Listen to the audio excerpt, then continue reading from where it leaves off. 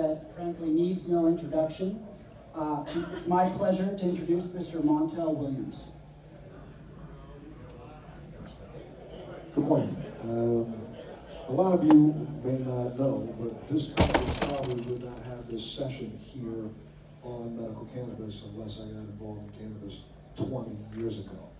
Long before it was vogue, long before it was a gold rush, green rush, long before anybody even cared about anybody thinking about cannabis as a medical substance.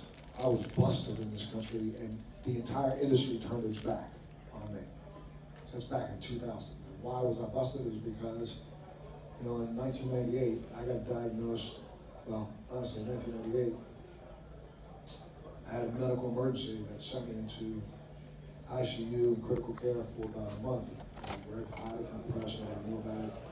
Had a very bizarre of aneurysm that left me almost to the point that I didn't make out.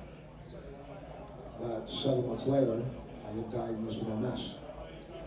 And when I was diagnosed with MS, MS began at about that literally sent me into a form of neuropathic pain that I had never experienced in my life before.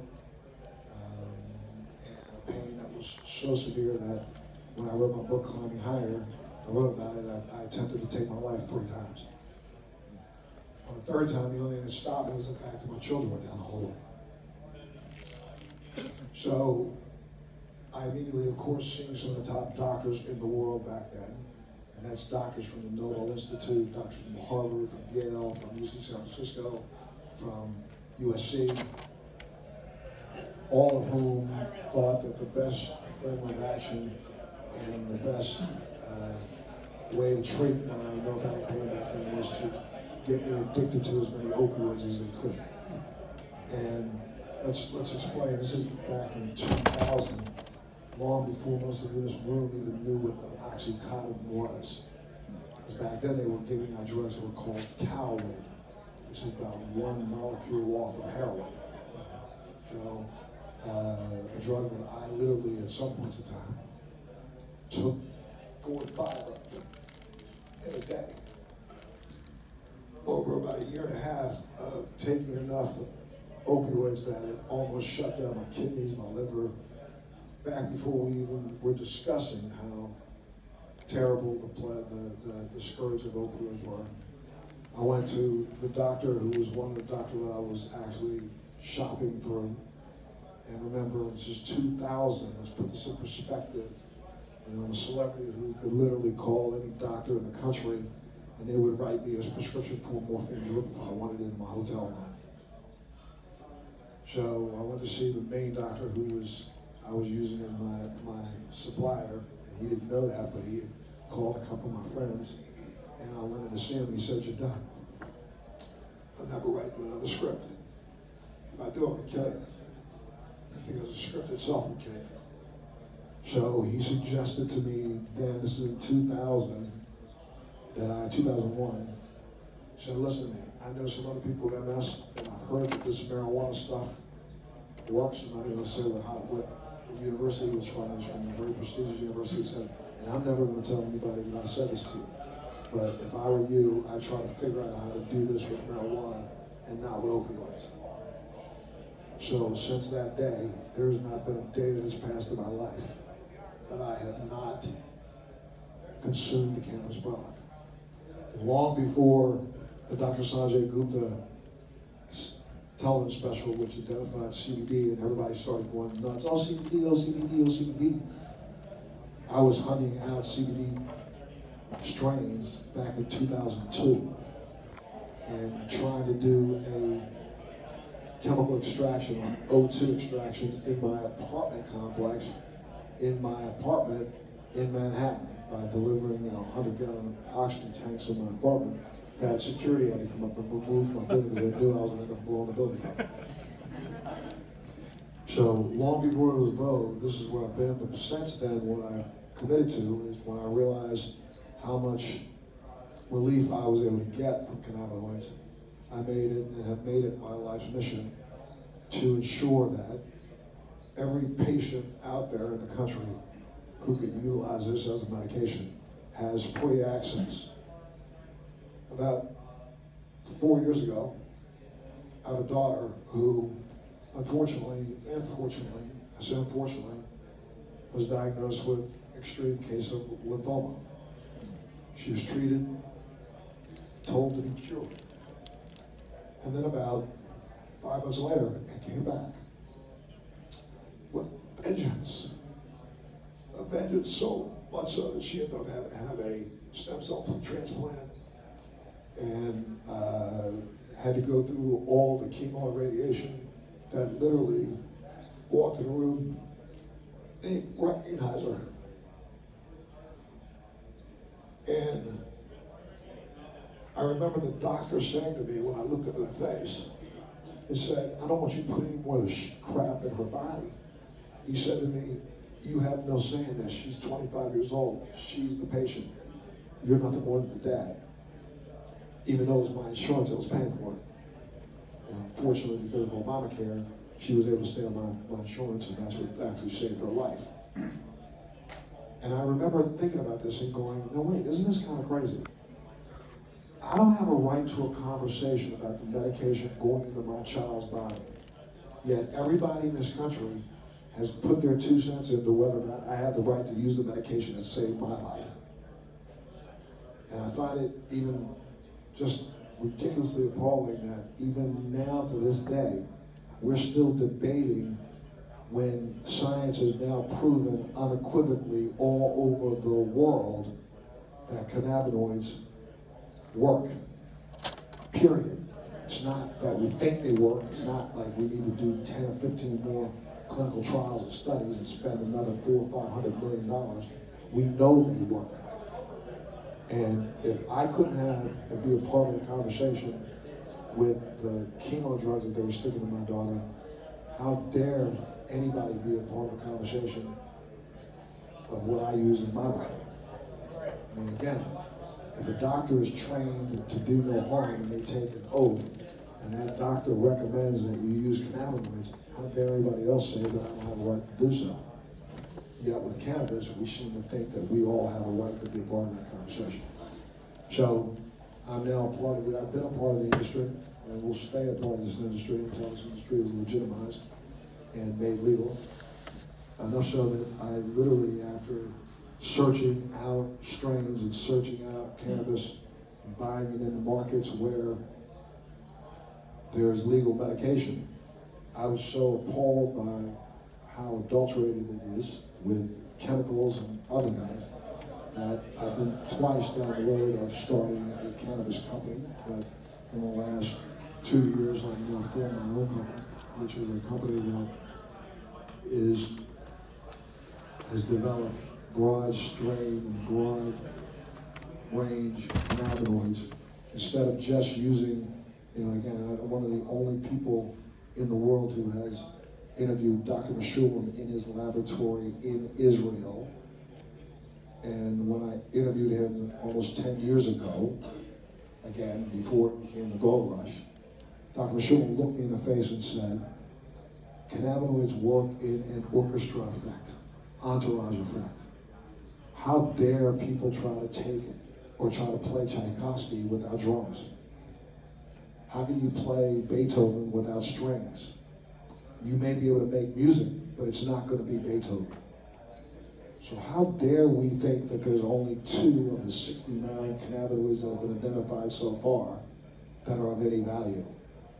And so what I've done is developed a broad spectrum cannabinoid medication that includes some that you're going to hear about within the next three or four months, CBG, CBN, THCA, THCB, all those other cannabinoids that literally have just as important an effect as the medication as the single CBD THC that people are trying to hawk right now.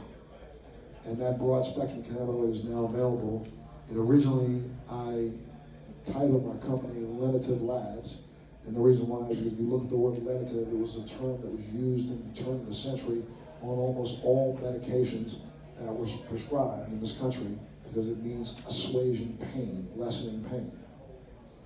But realizing now that since my formulations have been in the marketplace, people are ordering it as, I need more of that Montel. So what we are doing in that, in the last two weeks, we have now changed the name of the brand name of our product over to Montel. So I have a broad spectrum THC included cannabis product, but I also have CBD product that is now available across the country and has been getting some pretty rave reviews because not only are we focusing on the cannabinoids, but I'm also, what I'm hoping that Doc's gonna talk about here, is focusing on the terpenes, and not just the terpenes because I want it to smell nice and I want it to taste good, focusing on the terpenes that have been identified for the last twenty to thirty years as having medicinal value in helping to enter permeate the cell wall. And as we know now, and we've discovered, and we'll talk about it in my keynote, the fact that we've now, in science worldwide, has recognized that we have always had a sympathetic nervous system called the endocannabinoid system that is rife for being impacted by the full spectrum. That's the product that I'm delivering now. So, thank you very much.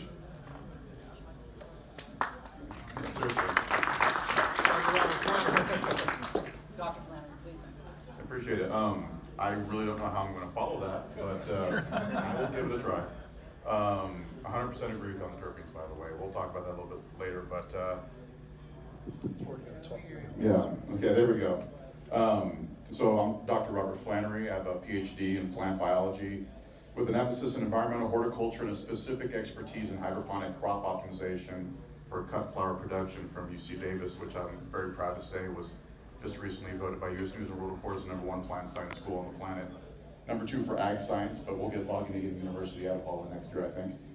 Um, but uh, I've uh, worked in this industry for about six years now, which in cannabis years is it's like dog years. Uh, it goes by you know, seven years for every one year type of thing. But I'm the former production director at Spark in San Francisco, which at least at the time was the largest vertically integrated dispensary in the state of California.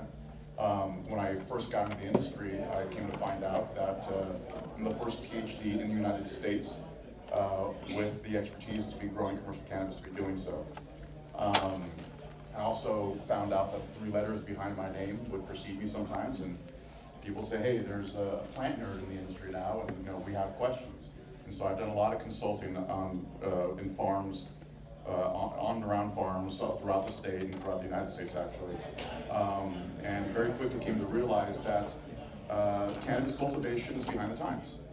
Um, and, and I understand why. I mean, I remember when I was working my PhD, uh, we would have you know, people come in, UC Davis is a public university, and anyone can walk on campus, they come to the greenhouse and I'm doing hydroponic research. Well, majority of cannabis is grown hydroponically. And so people really want to see what the, the cutting edge research was and what we were doing. And on a regular basis, we had cannabis growers coming in. And you know, my professor and I would always say, like, well, would you like us to go to your farm and help you out? I'm like, oh no, no, no, no, please don't come to our farm. You know, we obviously knew what they were growing. Um, and for some reason, I've never heard this since then, but this was back in 98, 99. They'd say, well, we grow French basil. I, have never heard cannabis called French basil, but now it's like kind of an inside joke for, for myself and a couple other people. But French basil is what they'd always say that they were growing. Um, and, uh, you know, it was, uh, when I was a, a, production director at Spark, I uh, remember this call very distinctly because I was in the dry cure space at Spark, literally surrounded by a ton of cannabis. Um, and my mom called to let me know that she was diagnosed with an aggressive form of breast cancer. Um, she has the BRCA1 uh, mutation, which makes it more likely to have uh, types of cancers like this. Luckily, they caught it very early. She is currently cancer-free. She's still with us. Um, thank you, I very much appreciate that. Um, but when she was going through a chemo and radiation therapy, I, you know, I said, hey mom, I can offer you some cannabis products to, to help you get through this. Um, you have to understand, my parents have been married since 1971 or 72, I forget. I should probably learn that. Um, but uh, my, my dad has seen my mom drunk two times in that, in that amount of time. So this is not a woman who likes to inebriate herself. Um, she was invited to a pot party in, the 60s in college. Literally thought she was going to a Tupperware showing party. This is how naive my mom is when it comes to cannabis. That, that literally happened. I'm not even joking. That did happen. And so when I talked to my mom, said, Mom, I can provide you with cannabis to help you get through this. She said, okay. but uh, I don't want to smoke it. I don't want to vape it. I want to eat it. Everything I'd been growing for Spark was all smokables and vapables, um, which meant I was going to have to go source some cannabis in edible form for her. Um, you know, I've done enough consulting to realize and understand that people are putting plant growth regulators and pesticides on this medicine and basically turning that medicine into poison. And so I was thinking to myself, am I about to poison my mom? And uh, it was basically, it was a dis- difficult task to try to find uh, an edible group and company that uh, was as stringent as I am when it comes to putting these types of compounds on the plants. Um, luckily, I was able to provide my mom with edibles, and uh, it helped her immensely. Um, but also, it's uh, you know after she went through chemo radiation therapy and her two rounds of sur- surgery, she had anxiety issues. You know, every time she goes to the doctor now, she thinks she's going to get that diagnosis again, and she's having trouble sleeping, which is honestly why I created a, a, a product for her. It's called Mom's Formula and it's a, a microdosing CBD and THC. I use, like you said, I use distillates, no isolates here. Entourage effect is a real thing, and um, you know, there are actually 113 known cannabinoids now. So it's uh, it's there's there's there's a lot of a lot of these cannabinoids, and and we're just now breaking the surface, to understand what they do beyond what THC and CBD CBD can do. And so I provided you know my mom with this tablet. Um, and basically it helps her sleep at night. It's a very strong anti-anxiety. It's not meant to get you high. It's just kind of bring you down a notch. Um, you know, I, I personally uh, had an issue with neuropathy as well. Um, you know, you might, I don't know if you guys don't recognize this, but I, I played football in college. Um, big guy. Um, and, you know, I also a, as my wife calls me, a Clydesdale. I've run three marathons. And just when you're running marathons at 275 pounds, not good on the back. So I had an L4, L5 microdiscectomy, and um, neuropathy is a fundamentally real, real thing. And uh, I've never contemplated suicide, but if there was no way I could deal with that pain, that, that would be an option on the table. I, I definitely recognize how that's an issue. Um, when I went to the, the hospital for this, um, the doctor, the ER doc was like, well, you know, what are you using? And I said, well, you've given me the, the Norco, does nothing. Um, I'm popping ibuprofen like it's candy. In fact, when we played football in college, we used to call uh, uh, O-lineman candy. They used to pop them before the games. And uh, now I'm using cannabis. And I said, that's the only thing that works. And the ER doc immediately assumed I was just there to get a prescription for, for opiates or something, for painkillers. And so she, she said, like, hey, well, you know, I don't want to hear about you popping your, your, your O-lineman candy. And, um, and then so she walked out, and basically my wife was sitting there, and the nurse comes in and says, we're going to discharge you. And, you know, I couldn't walk, I couldn't stand. And uh, the doctor said, well, she doesn't believe that you need, any, you need anything for your pain. Um, they're going to discharge me. My wife started crying, basically saying, listen, my husband came home from a football game with a broken nose, and he refused to take any ibuprofen or Tylenol. I think something's going on here. And uh, they eventually had to get an MRI lined up, and they put, me into surgery immediately the next morning. They bumped three surgeries to get me in because it was so bad. Um, cannabis is the only thing that worked and helped me. Um, so, you know, I, I feel very fortunate to have the three letters behind my name to be working in an industry that is burgeoning um, when it comes to cultivation technology, and that's that's really my expertise is, is integrating technology into horticulture. Um, and uh, overall, I'm just a, a big nerd uh, when it comes to all these things. I like to learn as much as I can. Um, and, and secondly, I'm very honored to be sitting between these two very distinguished gentlemen and honored to be uh, asked here today. But that's more or less my story. I'm sure there's more I could talk to you about, but I want to bore everyone, and I'll just hand it over. So thank you.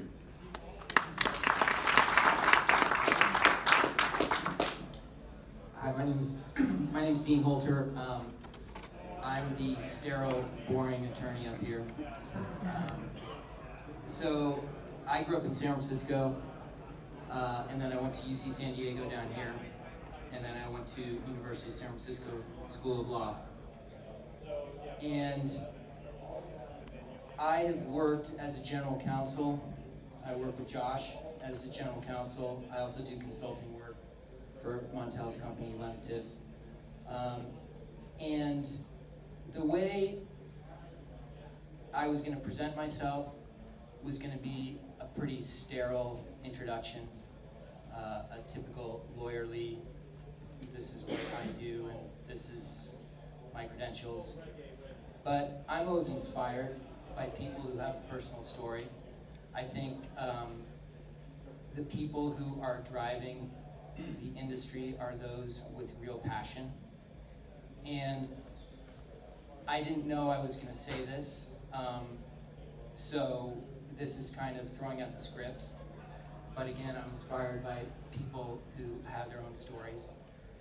Um, I'm from San Francisco, but we've had an old fishing cabin up in Humboldt County in Northern California for a hundred years. It's very remote. Humboldt County is known as kind of the Napa Valley of cannabis. Um, so I've spent part of every year of my life in the backwoods of Humboldt County, a San Francisco kid up in the backwoods of Humboldt County. I will just say that I have witnessed firsthand when people say in our industry that the war on drugs has been a disaster, that, is, that it has uh, had a negative effect on people and families. Um, it's very true. And that's, I didn't know I was going to say this, but my sister was a graduate student at Humboldt State University. She was going to be a, uh, she was getting an advanced degree in uh, marine biology. She'd already started a fish hatchery on the Klamath River to help restore the, the fish populations on the river. She was very passionate, great person. She went running out in the forest, the redwood, the beautiful redwood forest right next to the, um, right next to Humboldt State University. And she went missing. And I got the call, I was here at UC San Diego my first year, and I got the call. Danielle didn't come home. Turns out she was killed in the woods by a guy who was hiding in the woods because he had killed two Indian, Native American Indian teenagers the week before in a pot plantation argument that went badly. So, to me, the cannabis movement, for me, is a criminal justice issue, it's a social justice issue. The war on drugs has been a disaster. It, it, the fact of the matter is, a place like Humboldt County and other counties in California, there are people right now guarding cannabis gardens with machine guns. And if you are that unlucky person that goes out for a hike in a beautiful place, and you happen to be that unlucky person that stumbles upon a cannabis garden with armed individuals guarding that garden, you could die. And it could be on, on public lands. So, to me, people with machine guns are not guarding cornfields or barley or hops or soy. They are guarding cannabis fields because it has been illegal for too long. And the war on drugs, you can't have a war on a plant. A war is on people, and people get killed. My sister got killed. So I hope you'll remember that people who are passionate about this usually have a story behind it as to why they're willing to kind of play in this gray area and take risks that we might not otherwise take. And, you know, if you look at a graph of the incarceration rate in the US, as soon as the war on drugs started by, I had, I'm not going to get political here, but by the Reagans in the 1980s, you see it literally just goes straight up. In the 1980s, the prison population just went almost straight up. It's just a straight line up. And the saying is that we have 5% of the world's population here in the US, but we have 25% of the world's incarcerated people. That is a staggering statistic. We are supposedly the land of the free. This country has become the land of the locked up. And that's just, it's not okay. And a lot of that, the majority of that has to do with non-violent drug offenses, of which cannabis is the large majority of that. It really has destroyed lives. Um, it certainly affected our family's life. I think that goes without saying. And uh, to see, especially, um, an inordinate amount of people of color being having their entire lives um, affected negatively because they are put in prison for possessing a plant. Um, so that's where my passion lies. It's kind of the underpinnings of why um, I, I like to do this. Um, so then back to the sterile part of it. I do a lot of um, uh, company formations in Humboldt County. Um, I try to help people who are willing to go legal get legal. Um, so I form a lot of limited liability companies and a lot of corporations, and I give people advice um, who are trying to start doing the right thing. I got involved back in 2010 and 11. Um, I served on the City of San Francisco's Medical Cannabis Task Force. Uh, we probably indirectly crossed paths back back in the day. It was very bizarre to be sitting in a very um, ornate uh, room in in downtown City Hall of San Francisco with the mayor's office like one floor down and you know three offices over, and we're sitting there talking about how we're you know need to normalize the cannabis rules in in San Francisco, and then hopefully. Um, Oakland will follow, and then, then goes the state, and then goes the nation. So I'll stop there. I, I appreciate your time in coming to uh, hear our stories.